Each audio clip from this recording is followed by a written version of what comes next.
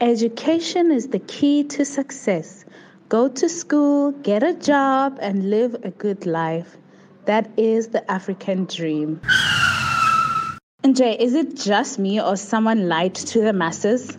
People are on these streets carrying their entire alphabet of degrees, and yet they are living hand to mouth. No one is questioning what are we learning, why are we learning it, what is education, and what is success. Let's not forget there is also a growing number of people with special and varying needs who do not even have access to basic education. I have to ask Is education in Africa broken? My name is Tebogo Kangote III. Join me every week as I sit down with experts, educators, parents, and students to talk about the state of education on the African continent. It's a lot. Welcome to the Educated Africana.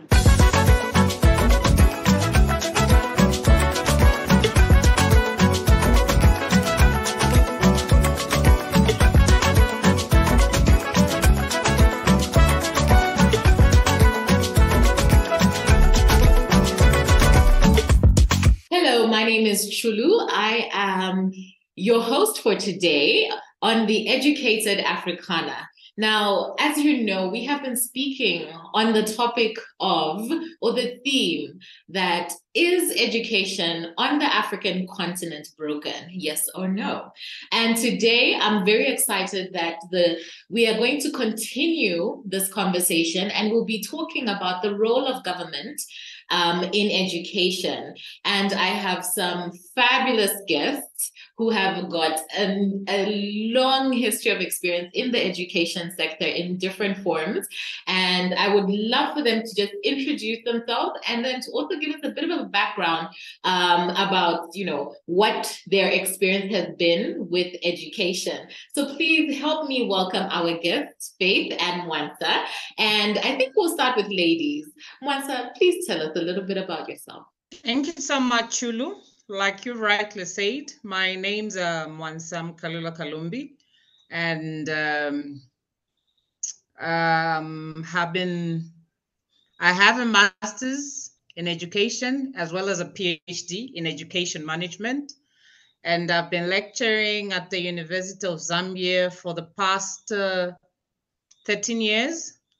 And um, much of my scholarly interactions are in the realm of education.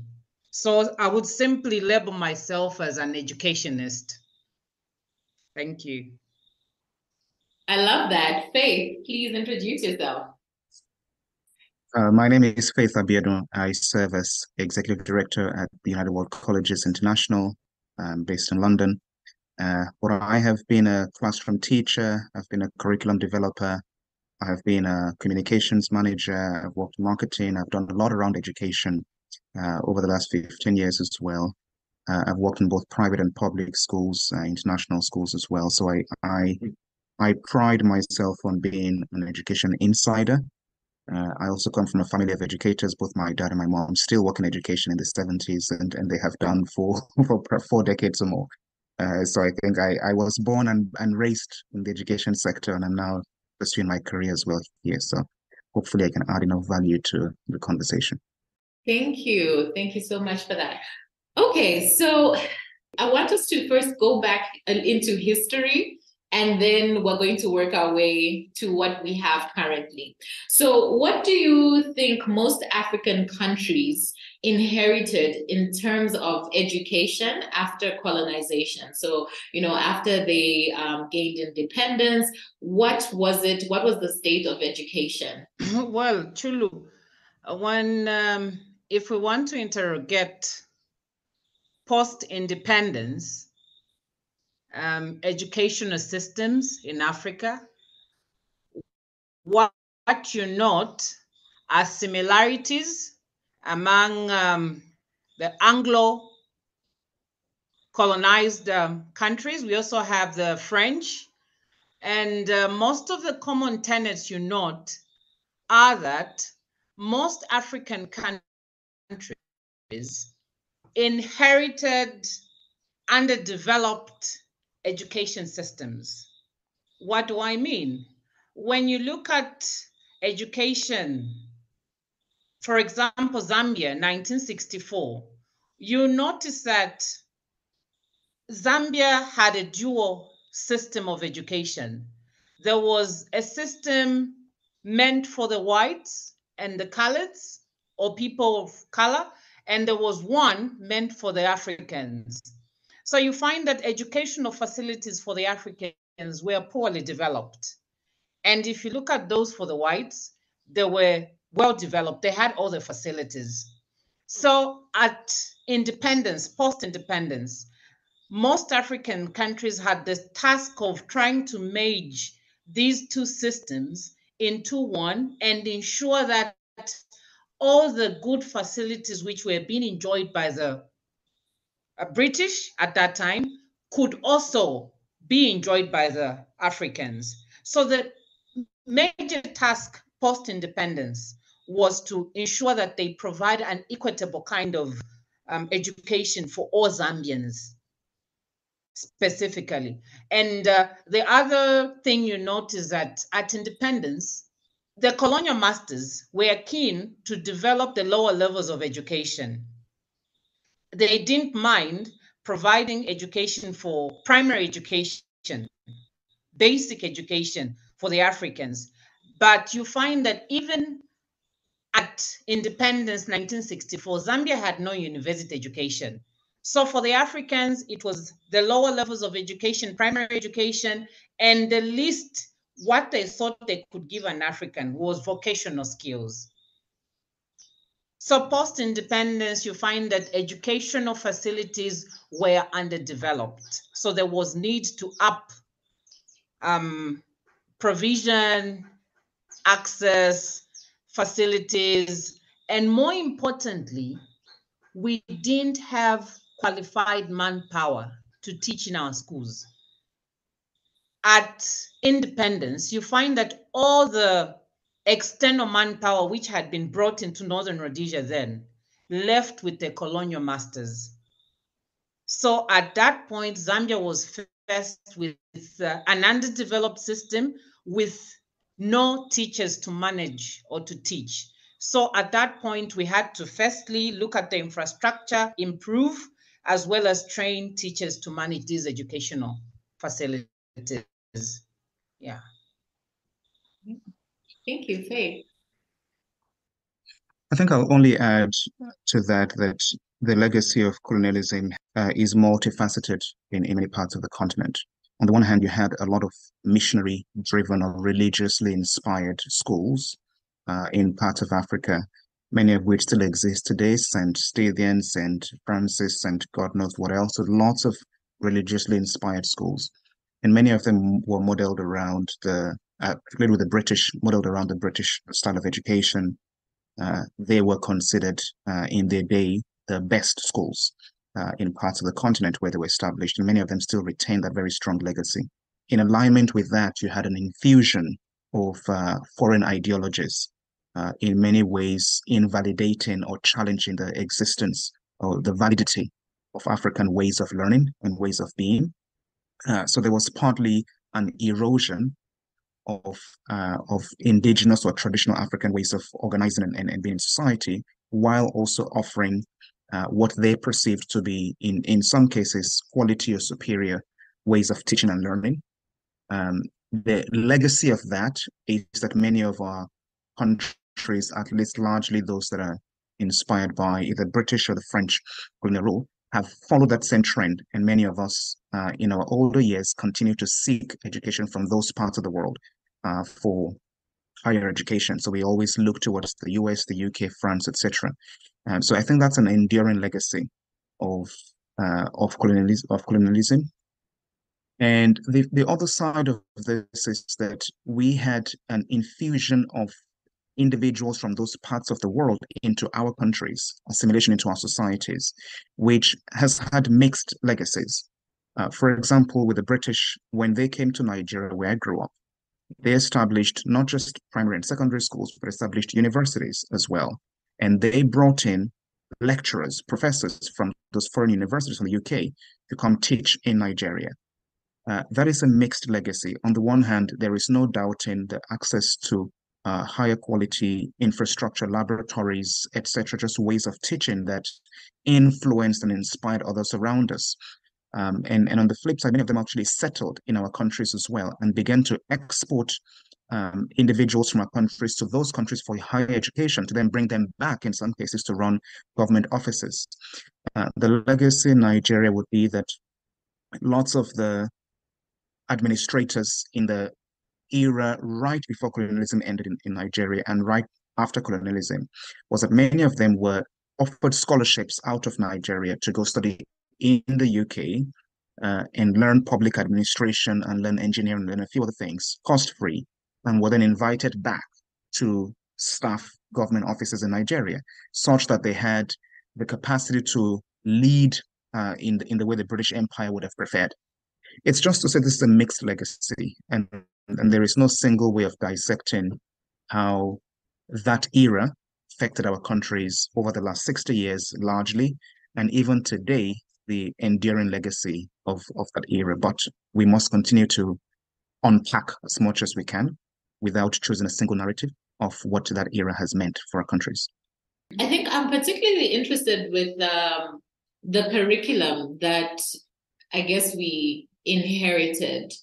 Do you, um, well, I guess if you could inform us, do you know whether there's been any sort of um, reform and you know movement in thinking of around what are we actually educating our people I think, as best as I can see, we have only adapted and slightly improved on or slightly changed what was the structure that we inherited. Um, again, I speak from the perspective of Nigeria and a little bit of South Africa as well, where, where I spend the most time. In Nigeria, we changed our schooling structure. We adapted what was called the 6334 you know, years of schooling in Nigeria, which means six years of primary school, three years of upper of of middle school or at least secondary school, and then and then six uh, three, another three years of upper secondary school or high school, and then four years of university education. That was taken hook, line, and sinker from the UK. Um, and the curriculums of the day were borrowed almost exactly from the UK because again the British education protectorate dictated what was to be taught in in Nigerian schools. And so the way the curriculums were designed were designed to match what was being taught in the UK. So we did the IGCSE or the GCSEs, which again were being taught in the UK. We did Cambridge A levels in Nigeria, for which you know had very little relevance uh, in in our country. But again, we're taking that uh, directly from the UK. Um, a lot of the university degrees and high school education, all the curriculums were built exactly like the UK. World history, just history, uh, had no relevance at all to our history, and always, almost always began with the slave trade or some part that invalidated the existence and the validity, legitimacy of uh, African kings and kingdoms and all that from, from that generation. So there's a lot of a lot of that content still remains till today, right? Still being taught exactly as it was designed in the 50s and 60s with slight adaptations. Over time, they began to add African history in some bits, but the number of schools that teach African history are very, very limited. Uh, what I found actually most disappointing is that in Nigeria, the country where I grew up, Nigerian history was banned from the curriculum uh, after a number of years. And we continue to change, you know, global history, the, the history, the narrative of, of the abuser, of the colonizer, was the only history lesson being taught in schools. And I think, if I'm not mistaken, only the last one or two years has history been allowed to be back on the conversation, not yet being taught in classes. So there are lots of things about the history of my own country that I have learned in one or two novels written by people who have actually been banned you know, because it will not be taught in class. Uh, uh, perhaps one of the worst episodes in Nigerian history, the, the Nigerian Civil War, that was called the Biafra War, is not spoken about in my country till today and is never taught in a class till today. So everything I know about that negative, utterly disappointing period in my country's history, I've heard through hearsay from my parents and from one person's book, which is still heavily disputed. So we don't have an official narrative of how we've arrived at where we are, because our own people don't teach our own history. So it's just a way of seeing how our minds have been conditioned to think in particular ways because of the influence of these foreign bodies. Um, lots to say, really, but I think the, the summary for me is that we've only made slight adaptations from what was introduced and then imposed on us, and that is a shame. Mwansa, what's your experience? When, uh, if we take time to interrogate our education system, particularly Zambia, you notice that it is actually a reflection of the British system, educational system. I'll give you an example of the structural demarcations. We still return the seven years of primary education, five years of uh, secondary education, and four, two, three years of uh, tertiary education. And when it comes to the content, the curriculum, you find that as much as we've tried to, we've made efforts to make the curriculum relevant to our needs over the years. But the aspect of returning that elitist or kind of class demarcation when it comes to specializations, I must say, where what I mean is when you look at the British masters, they reserved certain, like I already indicated, higher education like university education for the whites and the vocational skills were supposed to be done by the Africans. So it created a kind of elitist kind of education. The white collar jobs and the Africans carried that with them. To be educated, one has got to work in an office. And as Zambia, as Africa, we've really struggled with that. And it is at that point that over the years, over the decades, we've just failed to provide an education which is practical and relevant to our needs as societies. And I'll give you an example of Zambia. The past two years, with the coming in of our new president, I think he's been emphasizing on the need for us to include relevant subject areas can we stop talking about the prairies of Canada? I mean, of what relevance are they to us? Why don't we talk about Zambia's climatic conditions, the types of farming which would fit, which would make us grow our own food? Why don't we talk about trade? We have so much in terms of natural resources, minerals, why don't we tailor our curriculum towards such specializations? And we are at a point where we are saying, we, from the colonial masters, we were made to believe, we were schooled to believe that if you get educated, you have to work in an office. Fields such as farming are not for us, are not for the educated. So in the end, you find that where our focus should have been over the years, we should have had well developed agricultural systems. We have the land, we have the manpower, but we don't have the manpower with the needed skills. It's sad that 50, 60 years down the road, we are still struggling to find our feet as to what should be contained in our curricula. So I guess I'll follow that up with why are we struggling? Why is it that, you know, 60 years down the line plus there's still no um, I guess will or it just there hasn't been much of a, a change. Partly it's uh, the understanding how we framed education the minute or the moment we were introduced to it.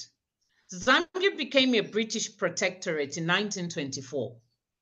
We were made to embrace this new form of education, Western type of education. And it came with the understanding that it created an elitist kind of society. White collar jobs are for the elite and in this case, it were the whites, our colonial masters. they get a degree, they get this higher education, they should work in an office. If you have to, for the for an African, the least you can give them is a vocational skill.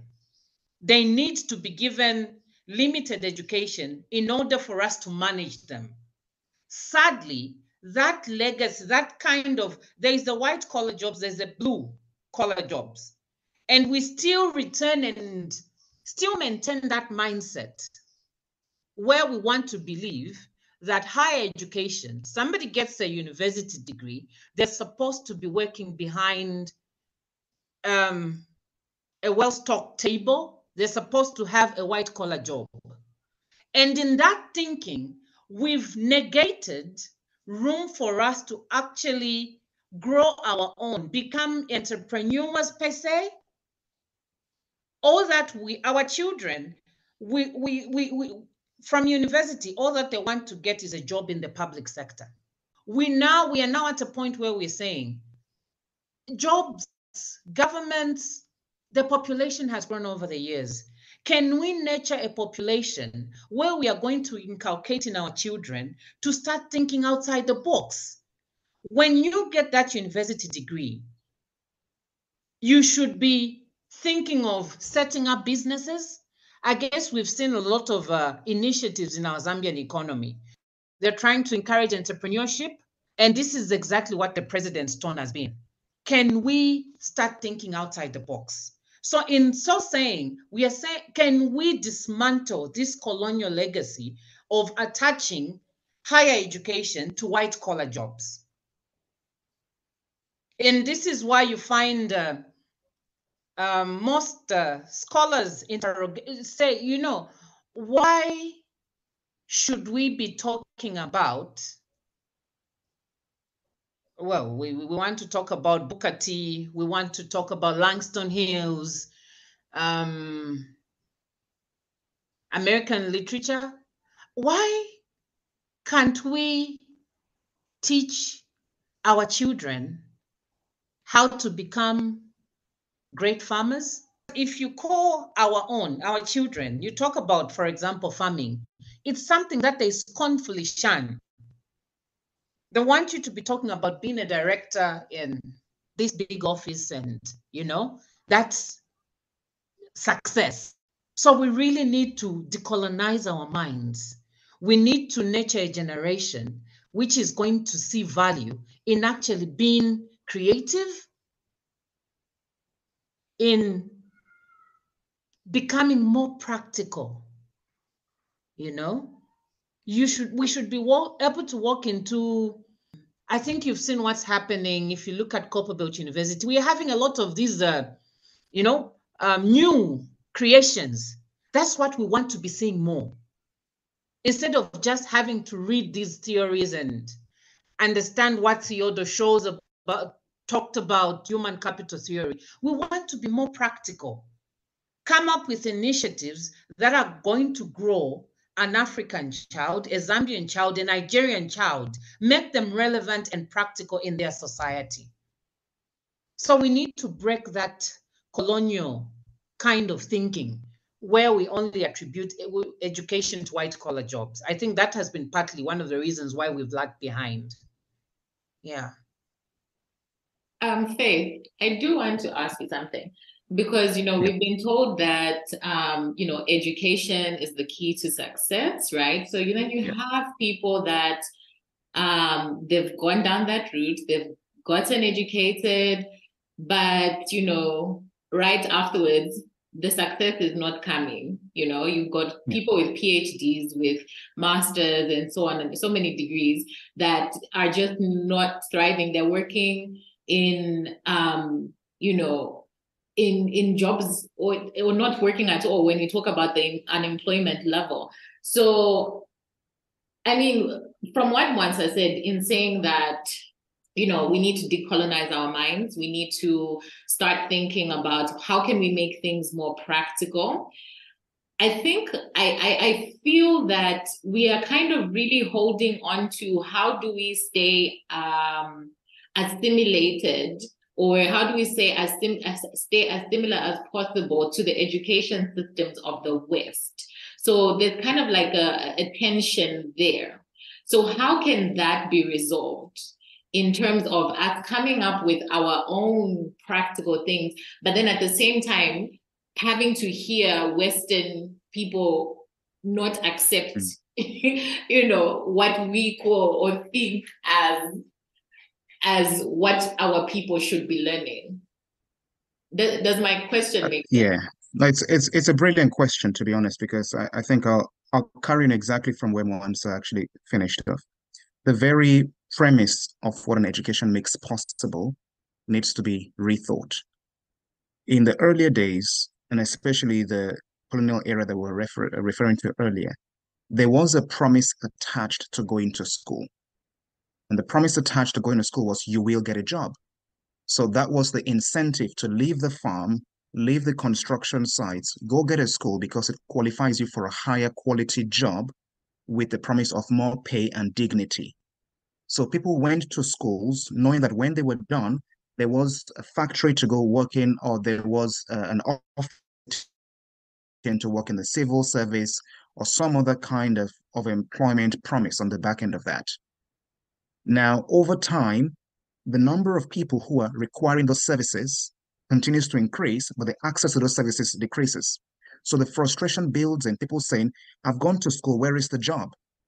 either in the private sector or in the public sector, you, I mean, I, I came up with a consciousness. You will do your part.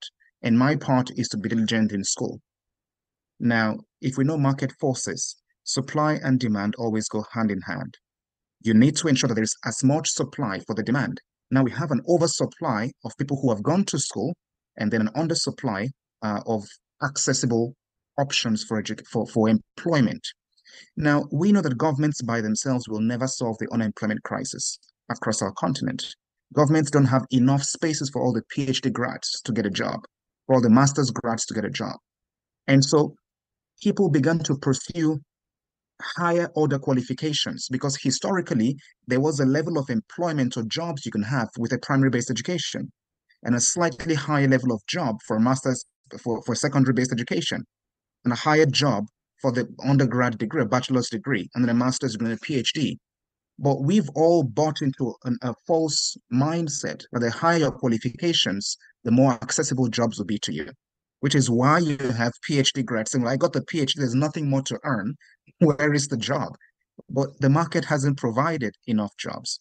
Now, what Mwansa was referencing here is how do we reframe education as, as I think, the enlightenment of the mind an introduction to society and all it has to offer, and uh, visibility of opportunities for individual creation. Not all of us will work in the public sector. There are just not enough jobs to go around.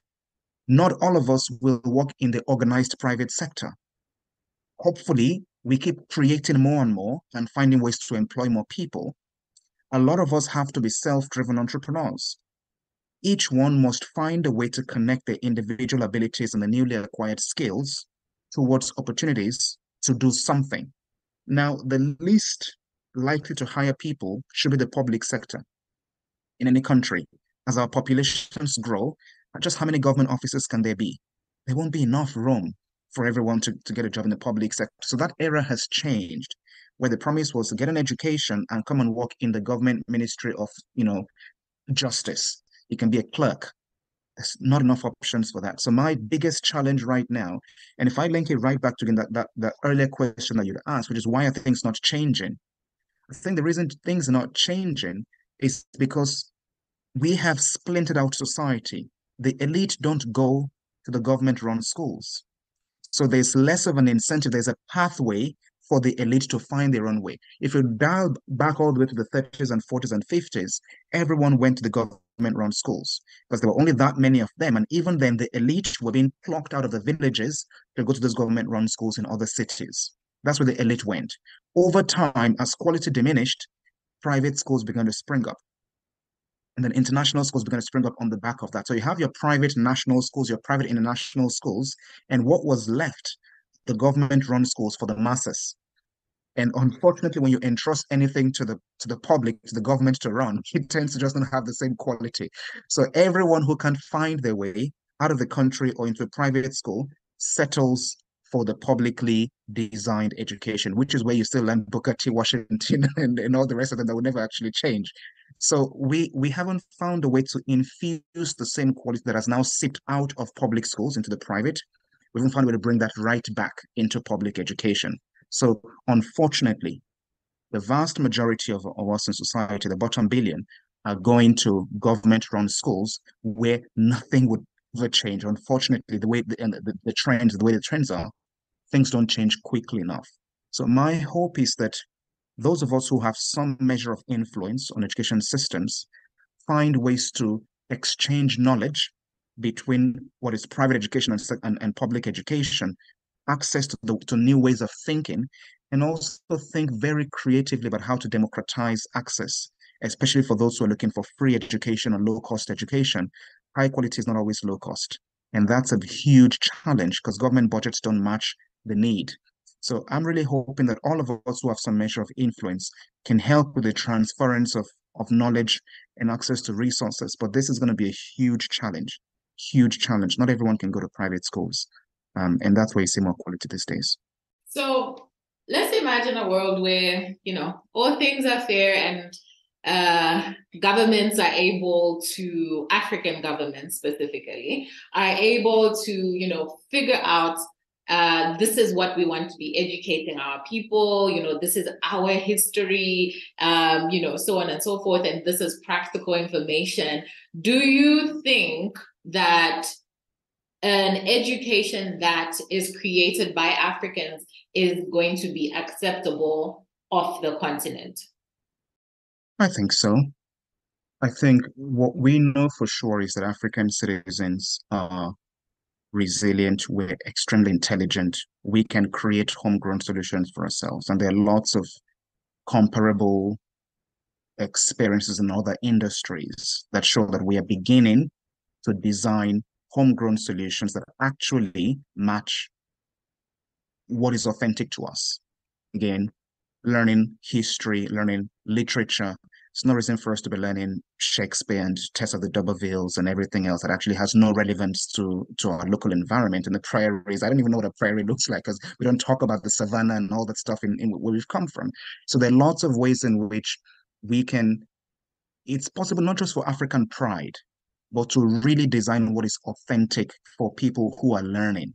Because as you are learning, when the words that are being used don't actually reflect how you learn, I'll give you a very practical example in, in secondary school, I wasn't great at economics. I loved the subject, but I wasn't great at economics. And when I got to university, actually, when I was finishing university, I began to realize that one of the reasons I wasn't actually understanding what was being taught were the words that were, that were being used. For example, a, an economics teacher would say something about the marginal utility of blah, blah, blah. I don't know what marginal utility means because we don't speak that way. What is marginal utility? But if someone says the added value of something, then ah, now I get that, right? Why are you speaking in all this jargon that probably is textbook language? So every time there was a mathematical formula, some the marginal utility of blah, blah, blah, I kept thinking, I just don't know what is being said. It's because that's not how we speak. That's not how we communicate. That's how perhaps the British used to teach their children and they all understood utility because utility was common language. For us, it wasn't. That's just a slight example of ways in which we've missed the chance to tailor to our own communities and the languages that appeal to us. So folks like me grew up thinking I can't be good at economics. But I actually wonder if the teacher who was teaching me understood it themselves. Because why would they just not say, in other words, you can call this the added value or the extra benefit? They kept giving me the same textbook language. So I'm thinking, you probably memorized that stuff and you've just assumed that that's how to teach it, you know? So I really believe that there's a reorientation that we can own and there's pride that we can take in what we can create and then speak to people in languages and tones that matter to them that actually reflect the environments in which they live. It can be accepted, but it's going to take a while. I think it's still a longer while for us to believe that we are not in competition with the West or with the, with the rest of the world. Therefore, if we don't match what they're doing, we're substandard. It's going to take a while. We can do the work, but I really would be looking to a lot of African education leaders to step back and align what we do in schools the direction of our countries.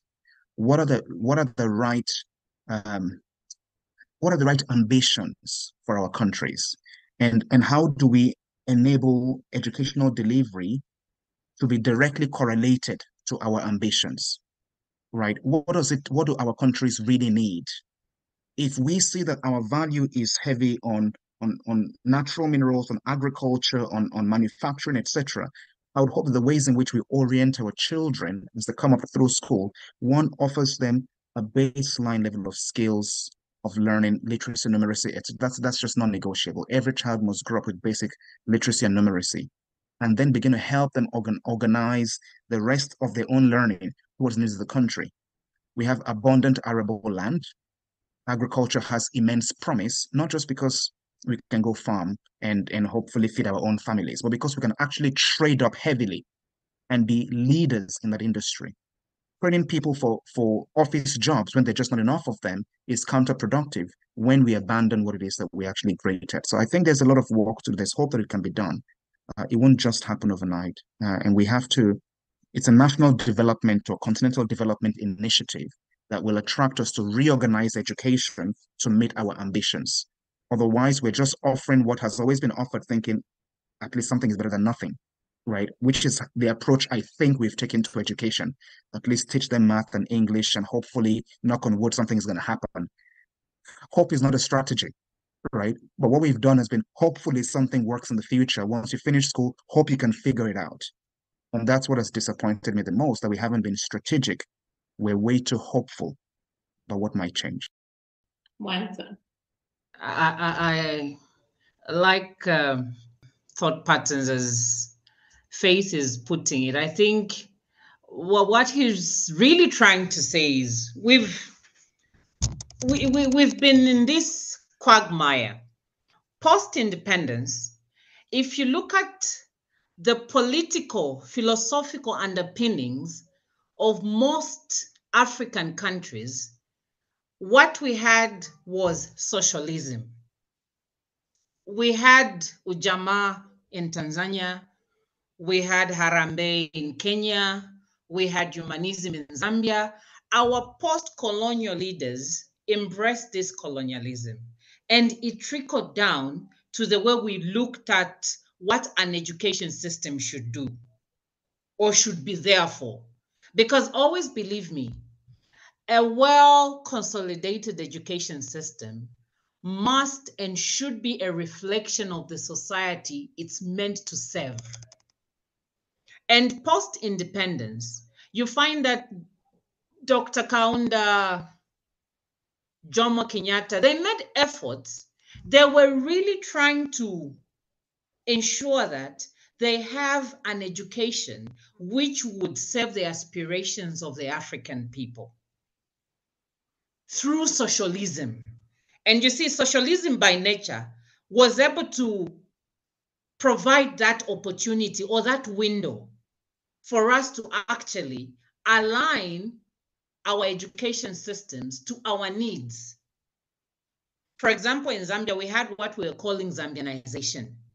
Remember, I mentioned, for example, in education, we had no teachers all those expatriates who remained, we started sending away, sending them away. We wanted to train our own. We wanted to give our own Zambian people all the big jobs, train them and give them these big positions. So with socialism, it really provided that window for us to have adopted an education which would be befitting to our African needs.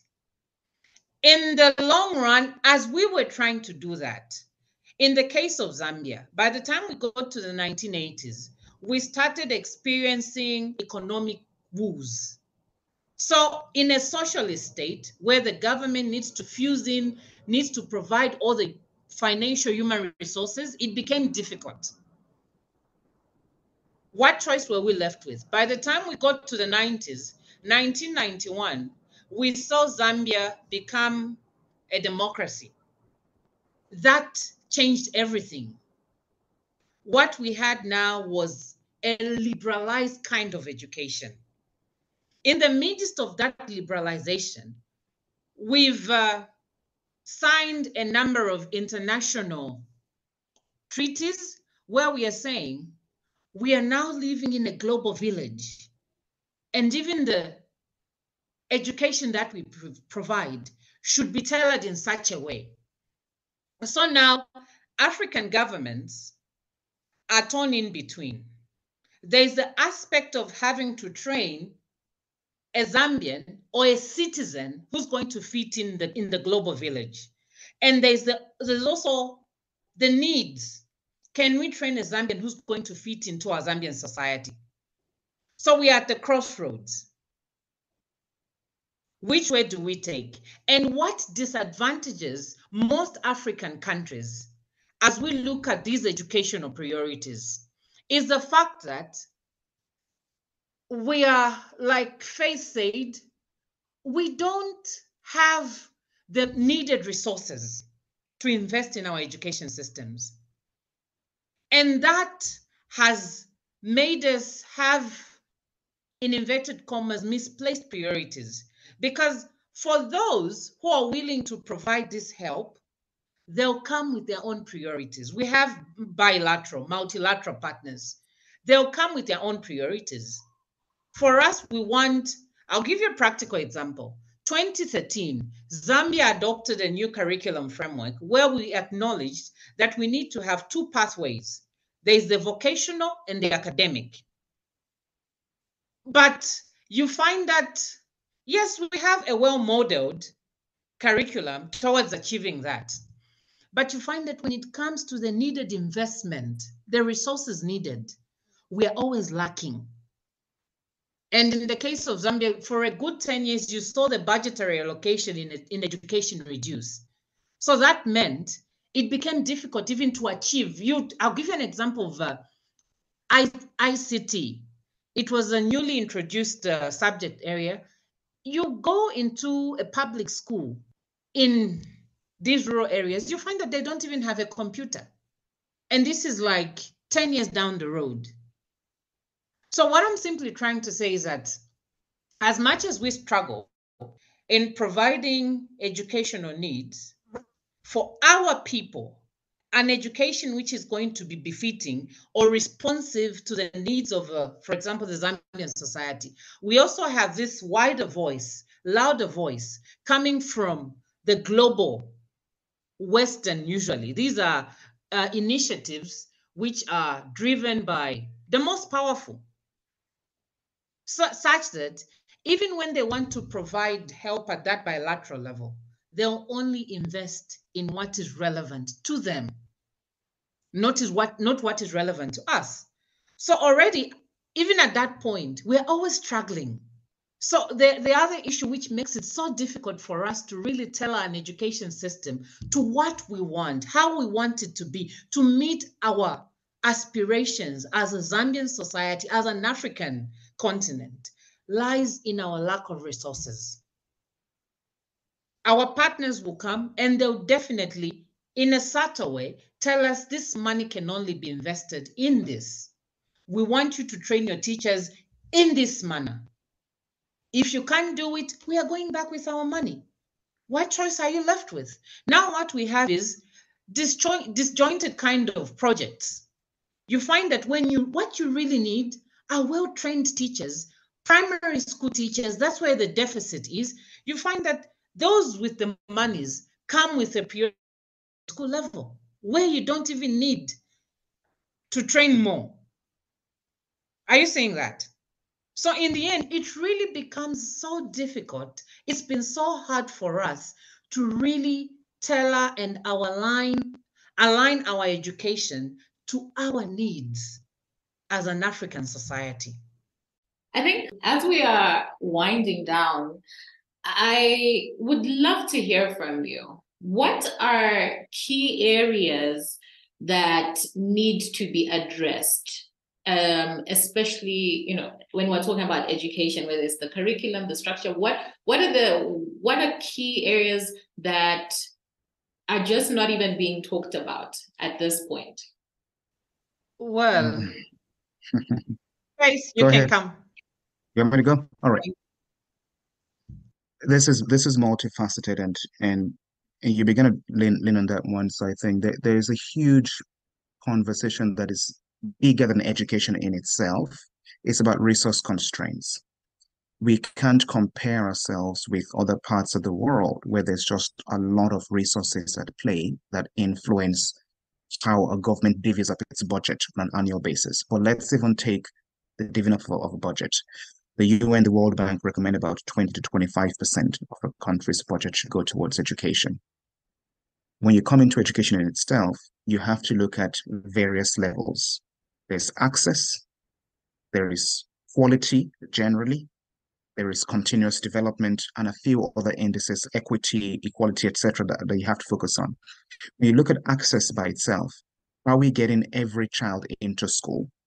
And are we offering them at least the bare minimum to be able to read and write and, and progress over time, to have self knowledge, self independence, etc.? That metric is not being met largely across the continent. It's just an access. For you to address access, you need to have schools within easy reach, preferably within 10 to 15 minutes walk or, or drive for of every child anywhere in any country. That is, the farther you are from city centers, the lesser the chances are that young people can access schools. That's just very simple. We're far from doing that. Now, it means that we're leaving behind a significant population, a segment of our population every single year. And that's a travesty, but that's number one. When you come into quality in itself, we've talked a bit about curriculum, uh, but more importantly, it's teacher development. Um, and who are the people who are being entrusted with the development of the next generation? Uh, growing up in Nigeria, the only people who went to colleges of education or teacher training colleges are people who did not score high enough grades to go to university, right? In essence, people who are not able to learn properly are being entrusted with developing other people. That's a joke, right? That's a joke. I can't get my mind over it. Assuming you you you you take the exams out of a score of 400, if you score 200 and above, you can go to university. If you score 100 to 120, you go become a teacher, right? So it's like you can't pass math, therefore go teach others how to pass math. And and I just couldn't really wrap my head around that reality, but that that's a joke. And when you compare with other parts of the world, very likely we, we often look at like Finland as like the go-to for education because they figured this whole thing out. Uh, the minimum requirement to be a primary school teacher in Finland is a master's degree, right? And that obviously comes not just with you know you've got a master's degree, go get a job. There's dignity that accompanies that role. You're well compensated. Uh, your the infrastructure in, in, in which you're going to teach is well organized. Uh, you have all your benefits linked to that. Your classrooms are well stocked. You know that by itself just reflects society as a whole. It means there's enough to go around. In our case, we're really going for low cost, bare minimum. How can we still survive? Um, so I really would focus at, at that infrastructural element of what are the schools that we're actually setting up, who are the people that we are developing and entrusting with the responsibility for the next generation, and how do we democratize access? If we can take one or two of those, I think we're on the way. And then further down the line, we can begin to innovate on top of that. But at the very least, leave no child behind. At the very least, prepare compensate and equip the teachers who go into classrooms, even in remote areas. And then thirdly, please give us chairs to sit on, give us textbooks to use, give us paper to, to write on if you can give us computers. They're just some bare minimums that largely through government-driven education we haven't even begun to solve yet. Um, and and I don't I don't think we we have to sacrifice one for the other. We have to really pursue both tracks. We can really innovate at the level of high quality curriculum development, monitoring evaluation for teachers, all that stuff. We can do that while also going for the bottom of society. But it's a lot of work and it requires a lot of budget and a lot of motivation, commitment to this. Um, I hope we can get it right in our generation, but there's there's a huge, huge task to to pursue. Yeah, like uh, Faith has said, I think we generally need to firstly increase budgetary allocation to our education system. And we just need to up our game when you look at the basic ingredients. Like he's rightly said, teacher education, infrastructural development, the teaching and learning materials, all those are dynamics are aspects which need to a lot more investment because in whatever education system you're in, there's always this nexus quality and quantity. Which one are you ready to trade off? And across Africa, we've always been ready to trade off the quality aspect. I'll give you an example. Look at what's happening in Zambia. We are on a very good, steady ground right now. The past two years, we've seen so many improvements teacher recruitment, access increase. And what we have right now is a very good problem. We have all the children in our public schools. The role and the government's target right now should be to increase teacher recruitment, invest in infrastructure, more especially to reduce on the pupil teacher ratio. If we follow through on this trajectory, five, ten years from now, we'll be talking about a different education system in Zambia. And already we're making efforts to see how we can improve our curriculum. If we can steadily follow through on that path, I think we'll be talking about a different Zambia in the next five, ten years.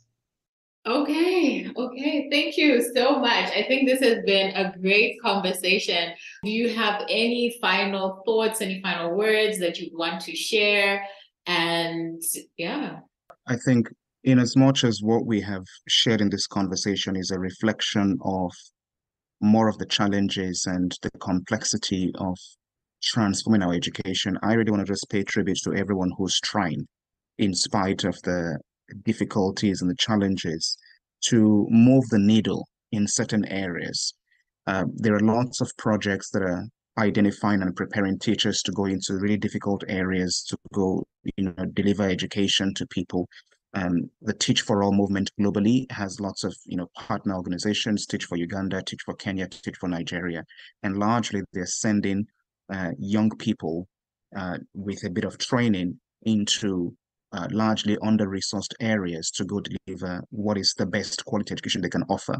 And, and organizations like that and many others uh, that are locals and international, uh, lots of players are working in spite of government and sometimes with governments to try to make a difference at that level. So for me, it's just really to recognize that it's always easier to, rec- to, to see the challenges and to see the complexity and why it's just so hard to get there.